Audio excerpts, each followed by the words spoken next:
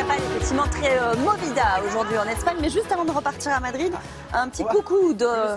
Une escale. Déjà une escale. On part à Saint-Pétersbourg en Ah oui, escale.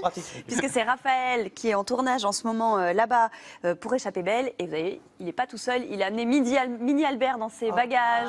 Ah. Donc on les embrasse tous les deux. Il faisait moins 15 au moment où cette photo a été prise. Devant le musée de l'Ermitage. Voilà. Tu connais oui, ça hein c'est beau. C'est magnifique, hein, Saint-Pétersbourg. c'est collections françaises. Euh, Bon, et On on remarque va que Mini Albert arrive à prendre des selfies en faisant le point sur, euh, sur le musée. C'est incroyable, il est trop fort. Bon, on va, et on va repartir un petit peu plus au chaud Tout à fait. Madrid pour cette euh, deuxième étape, parce que la semaine dernière, on a vu Madrid euh, classique, Les incontournables. c'est ça Un petit peu. Classico. Exactement. Et là, moi, j'ai envie de sortir donc des sentiers battus et d'aller dans le Madrid populaire. Ah. Le Madrid, un petit peu comme tu l'as dit, Maya, de la Movida. Euh, et là, on- il y a plusieurs quartiers, notamment le Latina. Au nord, il y a García Noblejas. Et moi, j'ai décidé d'aller à Lavapiés, à l'ouest de. à Lavapiés. Lavapiés. C'est le nom d'un quartier de Madrid. Absolument, c'est le nom d'un quartier de Madrid. Vous avez la gare d'Atocha, un petit peu euh, dans le sud-est de Madrid, et juste à côté, il y a Lavapiés. Donc c'est très bien parce que c'est assez central. C'est l'ancien quartier juif euh, de Madrid. Pendant la Reconquista en 92, en 1480, pas en 1900, 1492, les Juifs sont fait expulser, mais euh, Ouais. ensuite. Ils sont revenus, alors des Portugais, ou un petit peu partout. Et là, aujourd'hui, c'est un quartier cosmopolite. Et on, on- on y va en métro, et là, on tombe sur les cafés traditionnels, on tombe sur ces petites terrasses, ces petites rues, l'art, le, le street art, énormément de- de- Ouais. d'art sur les murs. Et également, mais c'est ça qui est beau, avec Donc cette c'est un peu arty. Absolument, c'est un petit peu art, un petit peu alternatif. Il y a 80 nationalités qui vivent aujourd'hui euh, à Lavapiés et on tombe dans le Madrid populaire avec ses façades colorées, ses petits balcons et on est un petit peu dans, le, dans un décor d'Almodovar avec Ah. ses lumières douces, regardez, avec ces gens qui vont... Eh bien, on est vraiment dans le Madrid populaire. Ah, c'est bien. Alors qu'est-ce qu'on fait dans ce quartier alors? Alors, il y a des tas de choses à faire, évidemment. Évidemment, il y a des tas de choses à faire. Mais Manger peut-être vu que c'est le Madrid international, exactement, exactement, on va, on va démarrer par manger. Il a compris, il a compris voilà. maintenant qu'il fallait Ouais, démarrer ouais, direct. Je sais à peu près comment fonctionne la émission maintenant. Donc, on va manger, mais pas, on va pas aller manger dans un restaurant. Ce serait un petit peu dommage, non. Ah bon? Trop simple. On va aller manger des tapas, mais au marché.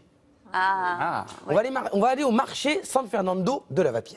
Pourquoi le marché San Fernando? Parce que le marché, c'est un marché couvert. oh, ça a l'air Et parce Alors- que, voilà, on aura de la place et Alors évidemment, je on ne ne vous fera pas la queue pour manger, ça fera bien. Mais je ne vous cache pas que pour des raisons, évidemment, je ne vais pas parler de théorie du complot, mais il se trouve qu'on aurait dû y aller un samedi matin. Ça n'a pas été possible. Le samedi matin, il y a une foultitude euh, de gens qui font de la musique. Mais, je vous le dis, là-bas, il y a plein d'échoppes. On y mange pour très peu cher, à partir de 1,50€ Ouais. pour un plat de tapas.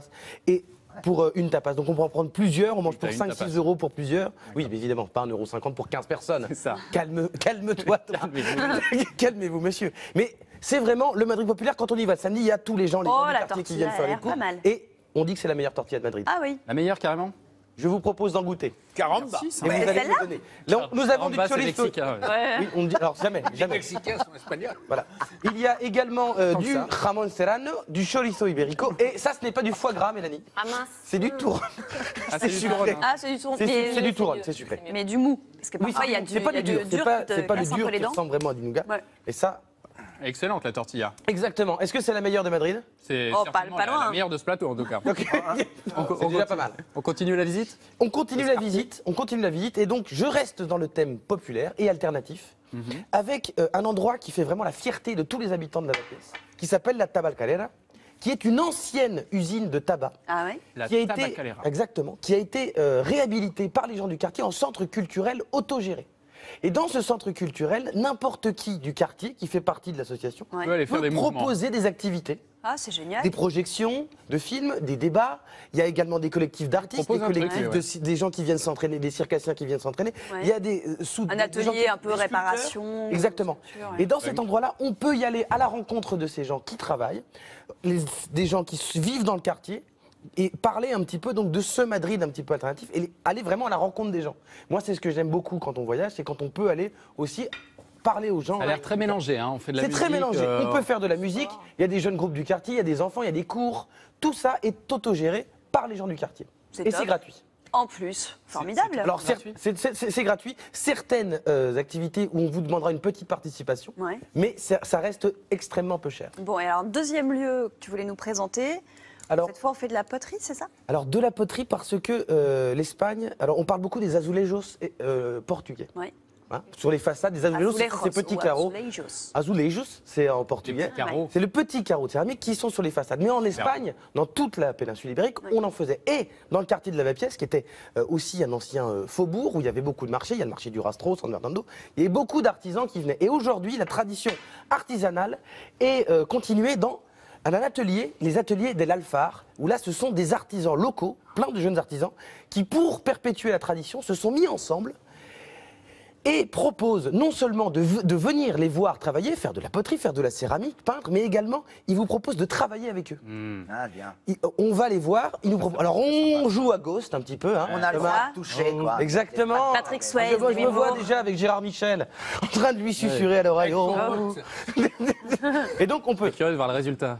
Alors, Bah, c'est- ça. ça, il c'est donne, ça. il donne des, il donne des cours pour les gens du quartier, Ouais. mais aussi on peut tout à fait y aller euh, pour, pendant deux heures. On, on trouve une pièce, ils nous apprennent un petit peu à la peindre, une pièce qui a été faite mais pas peinte. Ils nous apprennent un petit peu à la peindre et ensuite on peut venir la récupérer. Donc ça c'est En un cadeau Ah, original.